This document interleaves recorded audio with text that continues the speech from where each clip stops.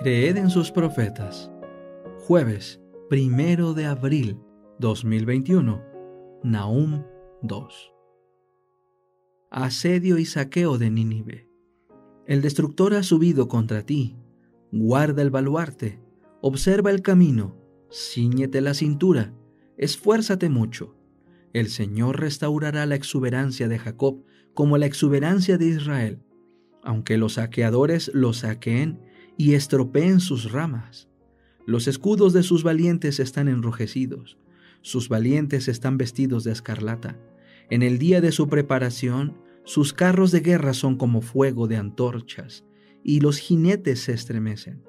Sus carros se movilizan alocadamente en las calles y se desplazan de un lado a otro en las plazas.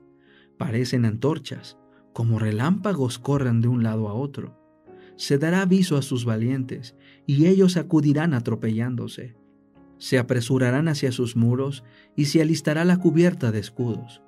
Las compuertas de los canales habrán sido abiertas, y el palacio quedará arrasado. La reina será sacada y llevada en cautividad. Sus criadas gemirán como palomas, y se golpearán el pecho. Nínive ha sido, desde tiempos antiguos, como un estanque de aguas, pero ahora estas huyen. Deténganse, deténganse, pero nadie vuelve atrás. Saqueen la plata, saqueen el oro. No tienen límites la calidad y el peso de todos los objetos preciosos. Desolación, devastación y destrucción. Los corazones desfallecen, las rodillas tiemblan, los lomos se estremecen, las caras de todos palidecen. ¿Dónde está pues la guarida de los leones y la cueva de los leoncillos? ¿Dónde se cobijaban el león, la leona y los cachorros sin que hubieran quien los atemorizara? El león destrozaba para sus cachorros y estrangulaba para sus leonas. Llenaba de presa sus cavernas y su guarida de rapiña. He aquí que yo estoy contra ti, dice el Señor de los ejércitos Encenderé y reduciré a humo tus carros, y la espada devorará a tus leoncillos. Raeré tu presa de la tierra, y nunca más se volverá a escuchar la voz de tus mensajeros. El Ministerio de Curación, capítulo 43. Una experiencia de índole superior.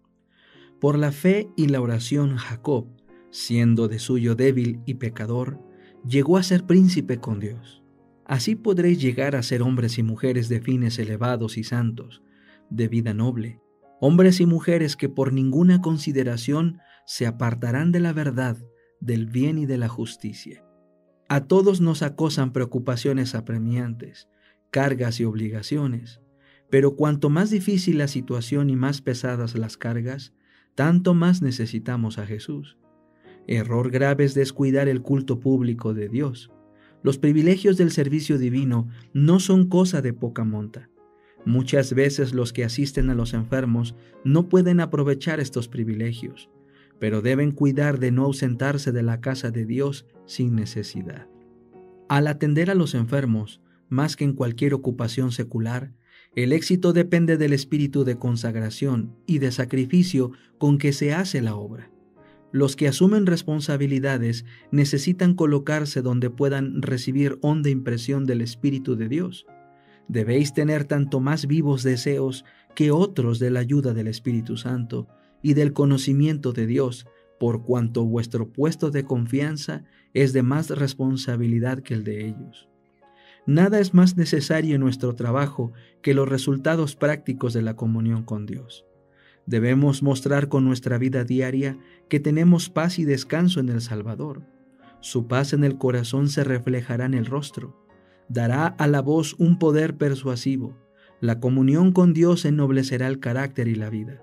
Los hombres verán que hemos estado con Jesús como lo notaron en los primeros discípulos. Esto comunicará al obrero un poder que ninguna otra cosa puede dar. No debe permitir que cosa alguna le prive de este poder. Hemos de vivir una vida doble, una vida de pensamiento y de acción, de silenciosa oración y fervoroso trabajo. La fuerza recibida por medio de la comunión con Dios, unida con el esfuerzo diligente por educar la mente para que llegue a ser reflexiva y cuidadosa, nos prepara para desempeñar las obligaciones cotidianas y conserva al espíritu en paz en cualesquiera circunstancias, por penosas que resulten. El divino consejero. Cuando están afligidos, muchos piensan que deben dirigirse a algún amigo terrenal para contarle sus perplejidades y pedirle ayuda. En circunstancias difíciles, la incredulidad llena sus corazones y el camino les parece oscuro. Sin embargo, está siempre a su lado el poderoso consejero de todos los siglos, invitándoles a depositar en Él su confianza. Jesús el gran ayudador les dice, venid a mí, que yo os haré descansar. Nos apartaremos de Él para seguir en pos de falibles seres humanos que dependen de Dios tanto como nosotros mismos.